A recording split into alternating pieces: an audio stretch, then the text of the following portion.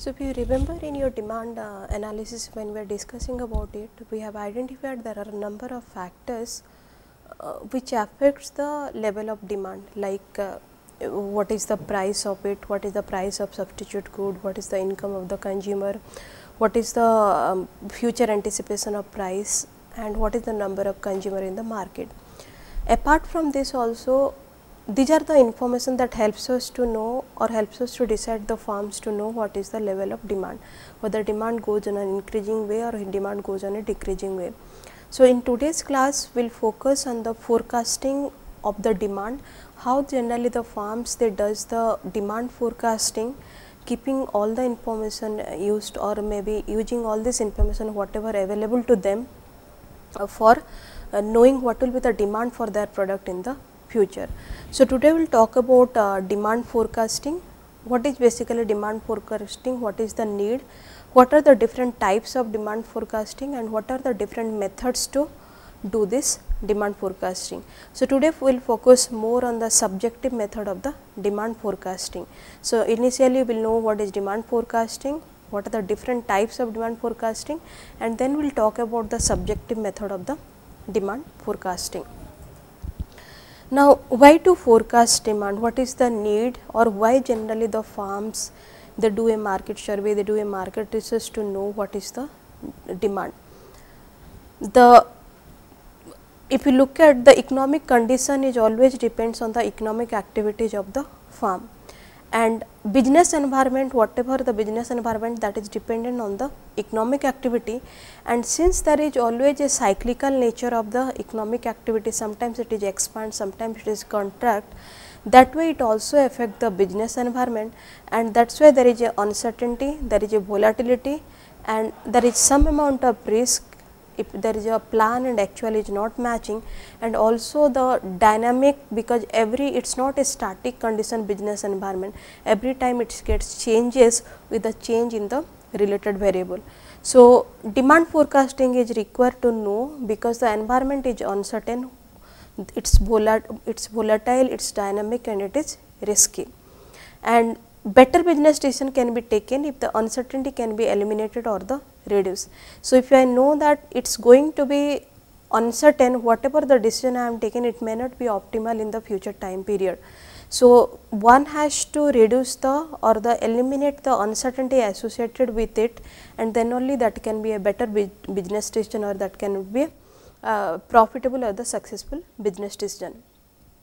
So, demand forecasting basically predicts the future demand of the farm products and this is one way to reduce the uncertainty because now predicting the future demand will reduce the uncertainty that what will be the demand and on that basis now the supply can be planned, now the price can be planned and there are other activities also can be planned. So, demand forecasting is basically to predict the future demand of the farm's product and this is one way to reduce uncertainty and this way we can the reduce the uncertainty maybe the business decision can be also profitable and viable. So, some of the business decision making that is aided by the good demand forecast. If there is a good demand forecasting, it helps in some of the business decision making. And what is the business, uh, what are the, what are those business decision which gets, uh, gets good positive outcome by demand forecasting? Determining the optimal level of output, what is the optimal level of output that can be decided through the demand forecast because on the basis of the demand the output plan can be decided and whether at that output level the, this the optimal level of the farm, whether the farm needs to expand, whether the farm needs to contract, whether the farms needs to, whether they can expand at the increasing cost, whether they can expand at the decreasing cost and on the finally how they can determine the output level through the demand forecast. Then planning and scheduling the production, distribution and the transportation.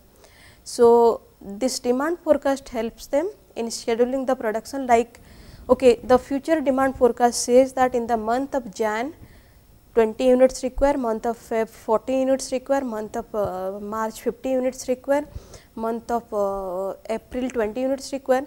On that basis the production scheduling can be done in a way so that it delivers 20 units in Jan, 30 units in Feb, 40 units in March and 50 unit in April matching the demand it can just deliver that. So, the production scheduling can be done if the demand forecast no, the forecasted demand is known for the specific time period. Also the distribution scheduling the distribution and scheduling the transportation because it is not that every time the producer is the supplier of the product if it is if producer is not the supplier of the product once they produce they have to also plan the distribution and the transportation basis how the end product reaches to the market to the retailer. And on that basis they know that okay if jan 20 units is required how they have to plan that the transportation of the 20 uh, units to reach the retailer before Jan. So, this planning scheduling of production distribution and transportation can be done if the demand forecast is known for the specific time period.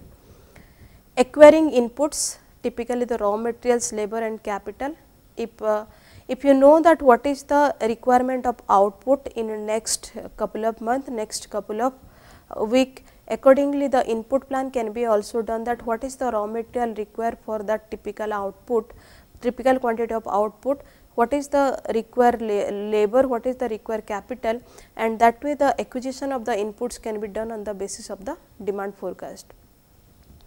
Demand forecast uh, helps in determining cost and pricing strategy. If the demand is more then accordingly the pricing strategy can be done whether it is a peak time period, whether it is a off peak time period what is the kind of uh, output demand that helps in the pricing strategy that what kind of pricing can be done. And also it helps in determining that how the scale of operation should be. If the demand is more then the uh, scale of operation is more the uh, possibility is that at least the farm is getting some economies of scale. Similarly, the determining the cost like whether, whether it should be going to be increasing cost in the scale of operation, whether it is going to be a decreasing cost in the scale of operation, this can, can be decided on the basis of the demand forecast. Then demand forecast helps in on decision on expansion and exit strategy of the product. How it helps in expansion and exit strategy of the product? If the demand forecast says that okay, by the end of this quarter the demand has to be 100 units. Taking specific example if it is 100 units and if a specific firm has a capability of producing only 80, 80 units through the demand forecast it helps them that they have to expand the output in order to fulfill the market demand for their product and they can do the expansion activity on the basis that even if now at the present time period the demand is not 100 units because in next quarter it is going to be 100 units, they have to expand and produce 100 units in order to meet the demand for the product. Similarly, it also helps in exit strategy of the product because if the forecasted demand says that the market for this product is going to down, there is no there is no demand for this product it is going to decrease or uh, maybe there is no uh, proper uh, there is no proper demand for this product generally that helps the farms to identify with that level of demand whether at least they are covering whatever the price they are going to charge and with that price whether at least they are covering their variable cost of production or not. If the variable cost of production is also they are not covering up they will prefer to go out of this market. So, forecasted demand also helps in the exit strategy of the farm that if the, what is the level of demand with that level of demand whether the farm can survive in the market or not if and if they can survive in the market if they cannot survive in the market where they should exit or where they should shut down their operation it can be helped through the demand forecasting. Finally, the demand forecasting also helps in the meeting the customer order dates and customer satisfaction how this customer order date and customer satisfaction is related to the demand forecast because it will give us that what is the demand from the customer in the different time period.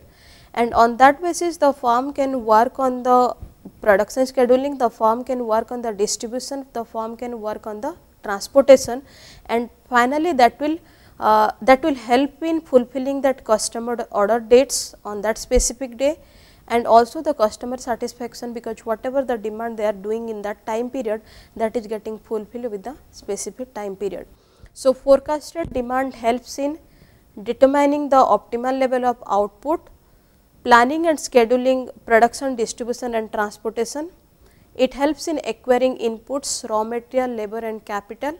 It helps in determining the cost and pricing strategy. It helps in taking decision on expansion and exit strategy for the product and it also helps in meeting the customer order dates and the customer satisfaction. So, demand forecasting taking all this um, uh, taking all this uh, usefulness of the demand forecasting we can say that demand forecasting is the starting point of fulfilling a customer order. Its accuracy is paramount. That accuracy of the demand forecasting is the paramount and based on forecasted demand a firm commits its resources capability uh, for a period of time and also the capacity to create the goods and services that its customer value and willing to pay for it. So, forecasted demand helps the firms to do the commitment on the basis of the resources, on the basis of the capacity, on the basis of the capability for a time period to create goods and services for that customer and particularly customer what the what they generally value for it. Generally, if the forecast is low, it will result in lost sales opportunity and customer dissatisfaction. If the forecast is not proper, if whatever the forecast that is not appearing or, or, it is considered as the low forecast and what is the outcome over here? The outcome is the result in the low lost sales opportunity and the customer dissatisfaction. Whereas, the high forecast will lead to accumulation of inventory resulting in higher cost and less profit for the firm. So, if the forecast is not proper either it can be low or it can be high. If it is low generally it leads to the lost sales opportunity because firm is not ready to fulfill the demand and because the demand forecast is showing at a lower note and that is why if it is not ready to fulfill the demand from the consumer they lost the sales opportunity and the consumer get dissatisfied that whenever the demand for the product that is not getting supplied by the farm and there is a waiting time to get their product. Whereas, if the demand forecast is not proper and if it is forecasting very high, it will lead to accumulation of inventory because whatever if it is a high forecast the farm has already produced a higher amount of the product.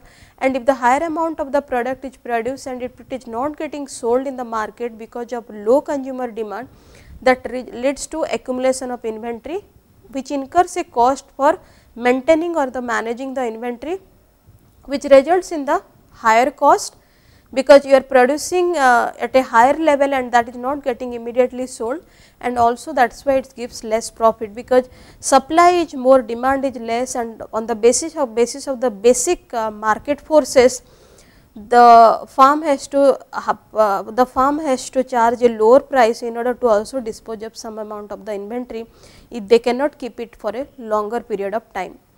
So, high forecast is not good, low forecast is not good, low forecast is also leading to negative outcome and high forecast is also leading to negative outcome for the farm.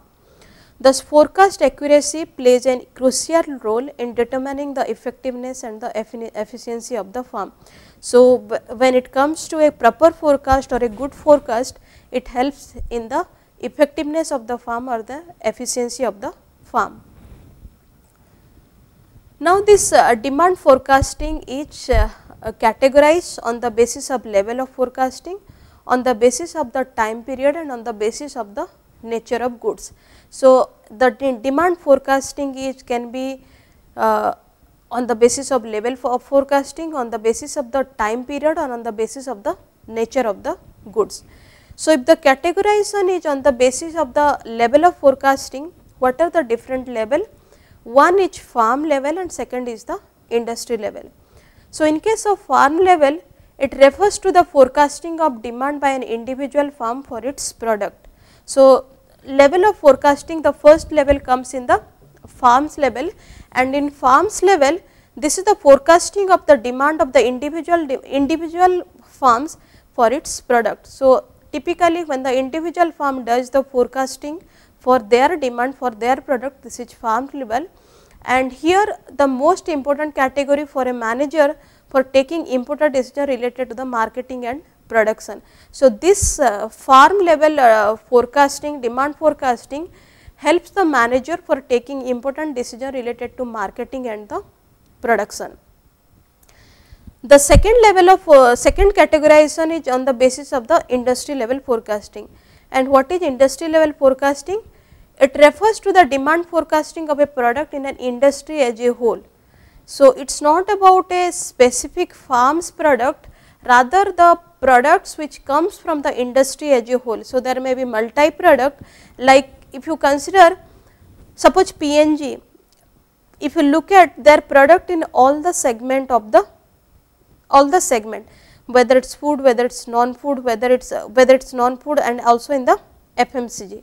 So, FMCG also they have variety of product. So, when the demand forecasting is done for all these product for the okay what is the demand forecasting for P&G as a whole that becomes the industry level and what is the farms level for typically for a toothpaste for a soap if the demand forecasting is done maybe it is for the Dove soap or it is for the Garnier shampoo in this case generally this is the farm level.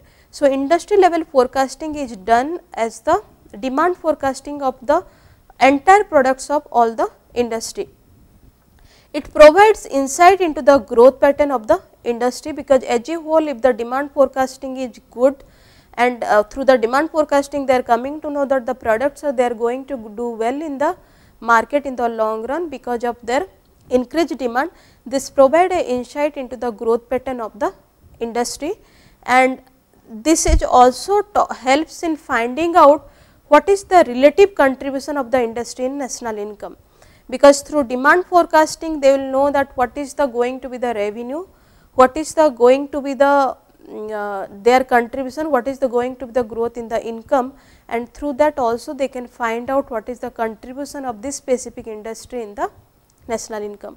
Same way when it is done in a sectoral level also it helps in finding out what is the growth of the sector in the long run and also the growth of uh, the contribution of the sectoral income in case of the national income. Then if it is in the economy level or the macro level. So, when the level when the categorization by the level of forecasting it is it is from the micro level to macro level Micro level we talk about the farm level forecasting and then we talk about the industry level forecasting and finally, we reach to the larger scale of forecasting that is the economy or the macro level of forecasting. Here the forecasting refers to the what is the forecasting of aggregate demand in the economy. So, this is combining together all the sector, all the industry, all the farms at a specific time what should be the aggregate demand for all the products coming out from various sector in the economy in a specific time period that is done through the economy level forecasting or the macro level for forecasting. And generally this forecasting helps in uh, policy formulation for uh, at the government level that what should be the different policy whether it is sales distribution policy, whether it is the production policy, whether it is the regulatory, regulatory policy or the planning. This generally helps the government in formulating different policy and also for planning in for the next time period and uh, this, this in the macro sense and the farm level is generally in the micro sense. Then the categorization comes in the form of the time period.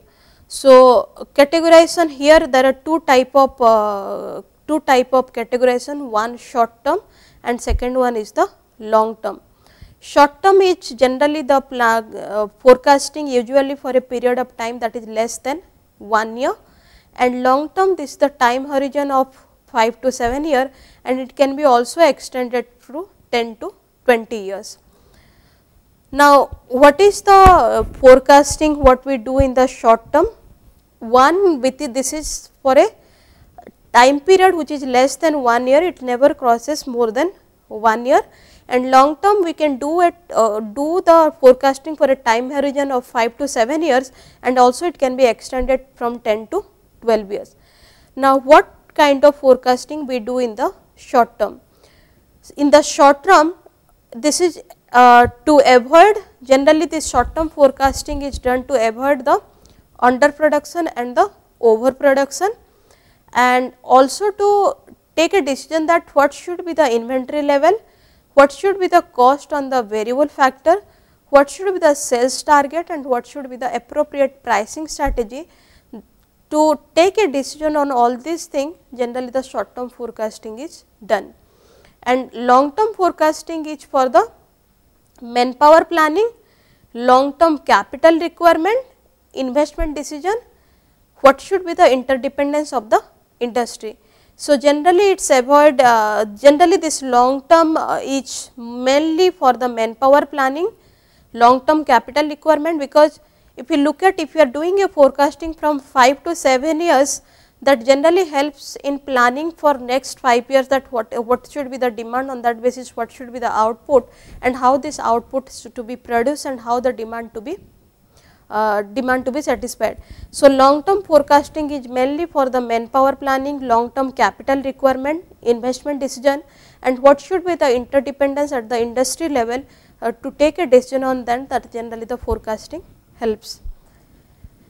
Then the categorization is on the basis of the nature of the goods.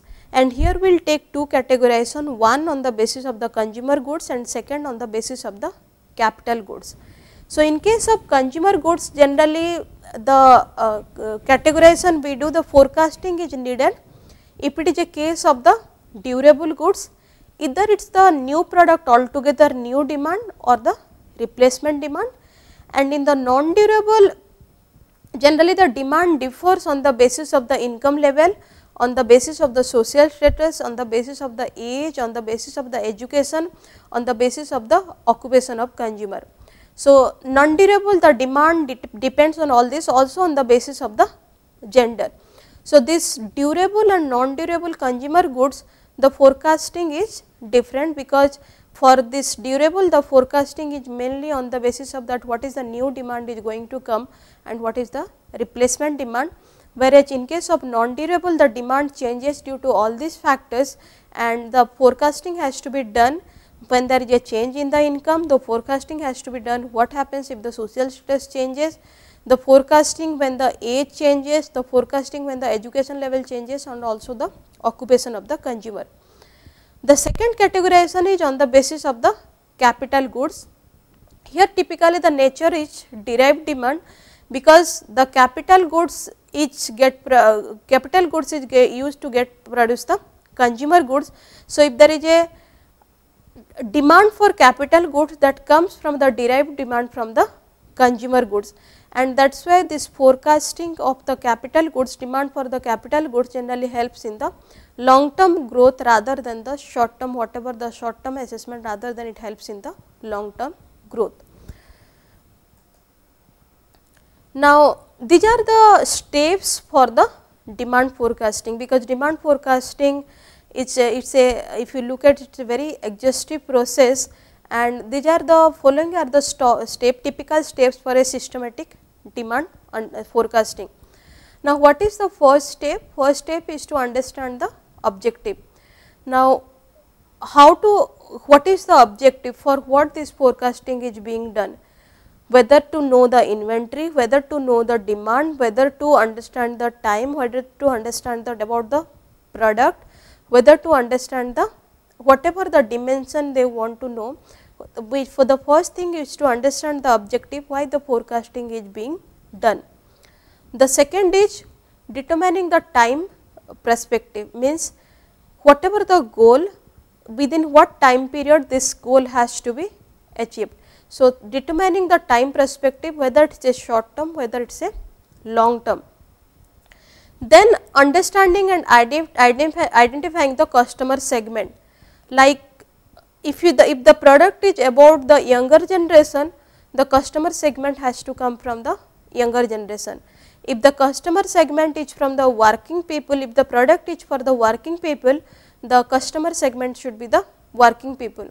If the product is for the kid, then basically we have to identify the parents who is having the small kid. So, the first is to understand the objective, second is to determine the time perspective and third is to understand and identify the customer segments. Then after identifying the customer segment, the next task comes as the identifying the major factors that influence the demand forecast. because whatever the factors which influence the demand forecast we need to moderate, we need to ration that and that is how we need to identify the major factors that influence the demand forecast. After doing this determine the appropriate forecasting technique. What is the appropriate forecasting technique to forecast specific about the specific product in a specific time period and with a specific customer group. And finally, after determining and, uh, and the appropriate forecasting technique, we need to do the estimation and interpretation of the result. So, these are the steps generally being followed when it comes to the level of for, uh, when it comes to do the forecasting, understanding the objective, determining the time perspective, understand and identify the customer segment, identify the major factor that influence the demand forecast, determining the appropriate forecasting technique and finally, the estimation and interpretation of the results. So, there are two methods of uh, demand forecasting. One that is subjective methods of demand forecasting and second there is a quantitative methods of demand forecasting. The subjective methods of demand forecasting also known as the qualitative methods of demand forecasting and this basically deals with two question what do people say and what do they do. So, this qualitative method of demand forecasting generally depends on two question or deals with two question what do people say and what do they do and this is generally the subjective methods of or the qualitative method of demand forecasting is useful in forecasting the new product, new market for which there is no past, past data available or no information available. Under the subjective method of demand forecasting, the first method is consumers opinion survey. Now, what is this consumer opinion survey? As the name suggests, buyers are asked about their future buying intention of products, their brand preferences and the quantity of purchase. So, generally here a survey is conducted and the survey is conducted among the buyers or the among the potential buyers. Now, what is the question being asked to them? What whether they are going to buy this product in the future or you can say that what is their buying intention of this product in the future. If they are buying this product, which brand they will prefer and what is the quantity they are going to purchase. So, the first question is whether they are going to buy this product, second if they are buying this product what brand they are going to buy and second if they are uh, after identifying the brand what is the amount they are going to buy. And also additional apart from these three question buyers are also asked about some additional uh, information like if the price of this typical brand is going to increase are you still going to buy the product? Or you are shift your buying to some other product? Or are you going to still buy the same quantity? Or you are going to buy a different quantity. So, the possible response to increase in the price with respect to quantity with respect to the brand, probable change in the product feature like the here the question comes as okay you like the product or you want any feature to get change with this product. So, and or the other question can be if the company is changing the feature of the product are you still buying this product? Or you are shifting it to a other brand? Or you are changing your quantity if the product feature is getting changed? And what is their response with respect to the competitive product? Whether you feel any product is better this than this product what you like about that product. So, in this case of consumer opinion survey the first question is being asked first three question is what is the whether they are going to buy this if they are going to buy this which brand they will buy and what is the quantity they are buying. And apart from that also there is some additional information they ask in the consumer opinion survey about the possible response to increase in the price, probable change in the product features and also the competitive product. So, this consumer opinion survey is done in two methods. Typically, the survey is done in two methods. One is census method, another is the sample method. As the name suggests, in case of census method, the entire population is being considered. So, if you feel that the consumer group is 100 people, Here the information will be collected, the survey will be conducted with all these 100 people. But in case of sample method, a representative sample of this 100 people will be taken. The entire 100 people will not be taken, entire 100 consumer will not be surveyed, Rather out of this maybe 20 percent, 25 percent of the people from this uh, representative sample will be chosen. And they will be uh, taking on the, the survey will be taken on them. And the, on that basis the estimation will be done. So, census method is one where the entire consumer group is taken into the survey. And sample method is one where the representative sample of the entire consumer group will be taken for the survey. So, consumer opinion survey used if it is a small group generally they use the census method, but which is time consuming and also costly otherwise they take a sample method which generally deals with the representative sample and here the uh, challenge is to identifying the representative the proper representative sample will give the insight about the entire consumer group. Stratified sampling is being followed if there is some detailed information required about the product otherwise this census method and the sample method is generally used in case of the consumer opinion survey. Now, what is the merits of this consumer opinion survey? It is simple to administer, just prepare the questionnaire based on that whatever the information required. On that basis the question can be framed and you have to go meet the consumer know the answers or the know the response. It gives realistic results because you are meeting the uh, person who is actually buying the going to buy the product and generally suitable for the short term decisions. Then what may be the demerits here in case of the uh, consumer opinion survey? If you are going to follow the census method generally it is costly, time consuming and when it comes to the consumer opinion survey, one more uh, demerits also the way they are responding to your question at that time period and when they are buying, there may be the change in their thought, there may be the change in the way they are buying it or the their buying behavior and in that case the consumer opinion survey will not help in the forecasting the demand. If the behavior has to be same during responding the question and also when they are actually buying it, then only it will be uh, it will be helpful for demand forecasting otherwise it will not be helpful. Then we will talk about the other uh, method of uh, sub, uh, subjective method of demand forecasting that is generally the sales force composite. And what is sales force composite? Here the salesperson are asked about their estimated sales target in the respective sales territory in a given period of time and sum total of such estimate form the basis of the forecasted demand. So, here it is the next level rather than the consumer. Here rather than going to each consumer in this method generally the salesperson will be asked that what is their sales target because when the salesperson is identifying their sales target that is on the basis of the consumer demand. So, if you take the sales target that is nothing but the consumer demand in the specific time period in a specific region. So, the salesperson are asked to about their estimated sales target in the their respective sales territory in a given period of time and that will be taken together to estimate the form of the basis of the forecasted demand. So, here suppose there are 10 salesperson they will ask what is your estimate of sales target in this year for the given period of time in this particular year in this particular segment. If that give, give this that is the total consumer demand and we can say that okay this is the forecasted demand.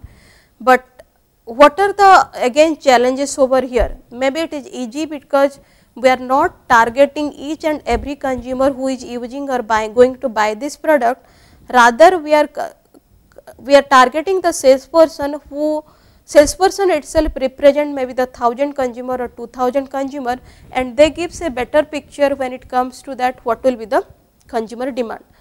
So, it is simple to administer because you are not going to one to one. It is also cost effective because the number gets reduced. So, the survey when the survey is being done it, it is the number comes down and the cost effective and it gives more reliable figure because since the person who is getting interview is the salesman and salesmen they have more information about the buying behavior how the consumer when they are responding to something whether this is actually this is their buying behavior, whether there is a biasness or what. And what are the demerits of the uh, sales force composite because since this is the one person who is representing the entire consumer group whether it is 1000 consumer or 100 consumer or the group of consumer, if the salesperson is biased the entire entire consumer group is biased and in that way that will be not the true representation of the consumer demand and that is why the demand forecast is not going to proper. So, if the salesperson is optimistic the consumer demand will be optimistic, but it may not happen when it goes to the individual consumer is not optimistic.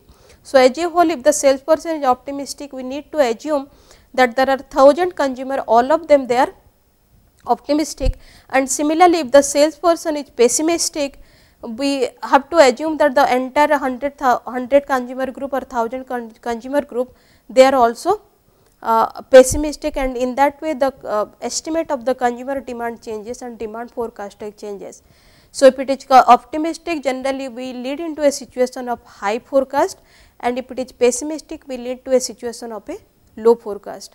This is not suitable for the long term and also this is not suitable for the when you do the aggregate for all the region because salesperson is in term of that typical territory. So, taking their estimates we need to understand this may not be the total consumer demand. So, the careful identification of the salesperson representing all the territory that will only give the true picture of the consumer demand or the forecasted demand otherwise it may be the regional based demand it cannot be the macro sense it cannot be the demand for across all this territory.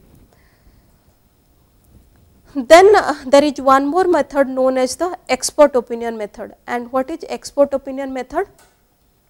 Here generally uh, the expert is being chosen they are called they have called for the group discussion and in the group discussion either it is by the brainstorming session or for a structured discussion and through that their opinion will be being asked for specific whatever the objective whether it is about the uh, about the demand forecasting or about the segmentation identification of the new segmentation identification of the new market uh, demand for the existing product or maybe the uh, demand for new product whatever the objective on that basis the group discussion will be moderated and the group discuss discussion either will be in the form of the brainstorming session or in the form of the structured discussion.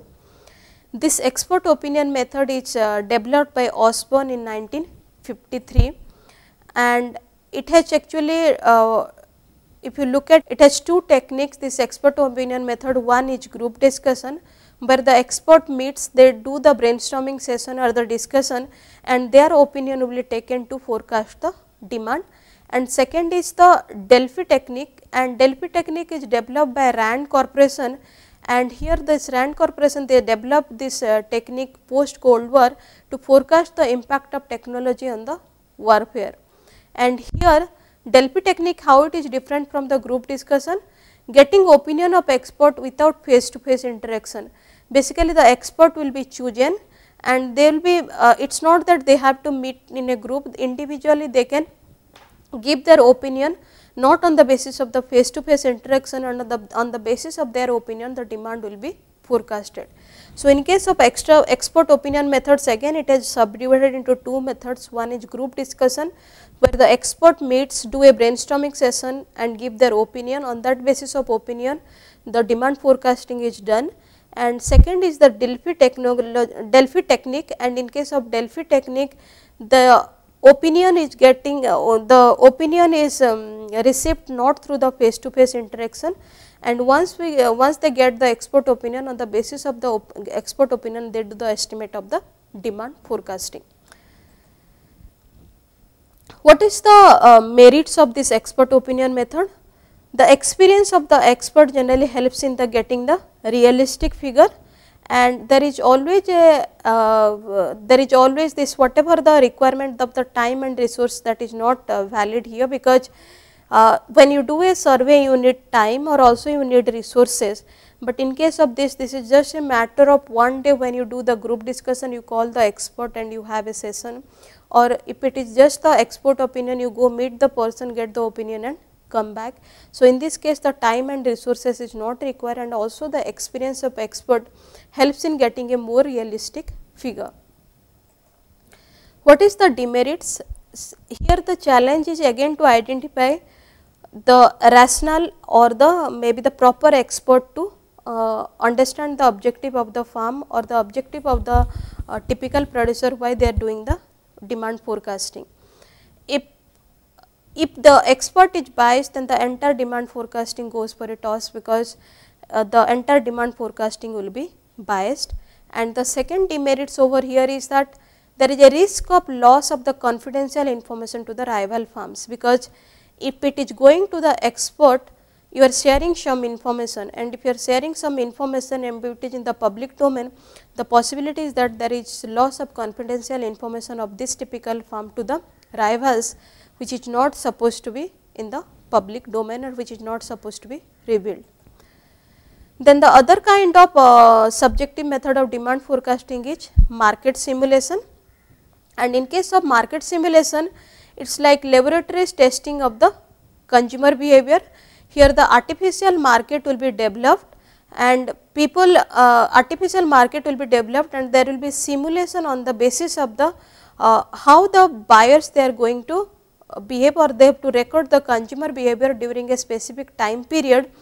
Okay. They will be given the money to do the buying, uh, do, do the purchases and on that basis they will do the records the buying behavior and they uh, try to make it a artificial market.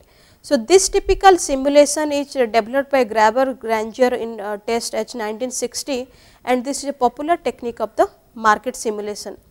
And here if you look at how it works, generally the artificial market is created and the buyers will do their purchases and on the basis of when they are doing the purchases their buying behavior their consumer behavior will be recorded and that will help in the market simulation. What is the merits? The merit says that this is the first kind of method where the consumer behavior is being captured in the situation where they are doing the buying and generally it helps in uh, helps in uh, doing a forecasting for the absolutely new product because consumer get acquainted with this and when they see the product on that basis the buying behavior changes and that is a good way to do the demand forecasting. Demerits there is a requirement of the considerable amount of time and money and it may happen that the way when the artificial market the way they are behaving they are not behaving in the same way when they are going to the real world scenario or the real market scenario. So, the possibility is that the buyers behave differently and in that case the, the entire demand forecasting is on a uh, different uh, direction not in the proper direction either it is uh, go on a high, high direction or it is go in the low direction. Then there is a subjective method of demand forecasting that is test marketing. This is one step ahead of the market simulation and here actually the uh, rather than creating a artificial market it is in the real market generally the buyers do the purchases. They without and their behavior gets recorded. And here the purchase behavior and here the buyer does not know that their behavior is getting recorded. So, this is step ahead of the market simulation where we took the case of the artificial market, but here it is not the artificial market rather it is the real market product is actually sold in the certain segment of the market which is known as the test market and where the consumer do the purchases consumers buy without knowing that they are being observed. So, in this case typically in the test marketing the test market is developed consumer they do the purchases and their consumer behavior or the buying behavior is recorded and when they are doing the purchases they are not aware of the fact that they are being observed or they are being recorded. So, this is uh, a real market and this is generally called as the test marketing and this is more reliable among the qualitative methods because it is a kind of real world scenario the buyers they are doing the purchases and also they have no information that their purchase behavior is going to get studied or their purchase behavior is going to get observed and that is why this is more reliable among the qualitative methods and suitable for generally a new product and there is less amount of risk because the buyers is the behavior of the buyers is actually in the market not in the artificial market. It is costly. So, if when they are uh, launching a new product, they are doing a test marketing, the entire procedure is very costly and if the product is not doing well, the failure of the product generally leads to the sunk cost. So, it is very expensive and they have to plan carefully if they are doing a test marketing at least some level of uh, R&D is required to know that whether the product is going to have some potential in the market or not because otherwise uh, planning a product, producing a product, doing a test marketing and if it goes in the negative direction the failure of this product leads to the sunk. It is time consuming and when we do the test marketing we do it in a particular location the purchase behavior is also recorded in the observed in a particular location. So, there may be a regional differences which cannot be generalized into the entire market because the behavior of the consumer in one segment of the market may be different from the another region of the market. So, this cannot be generalized. So, we will we'll, uh, continue our discussion on this demand forecasting typically on the quantitative methods of demand forecasting in the next session.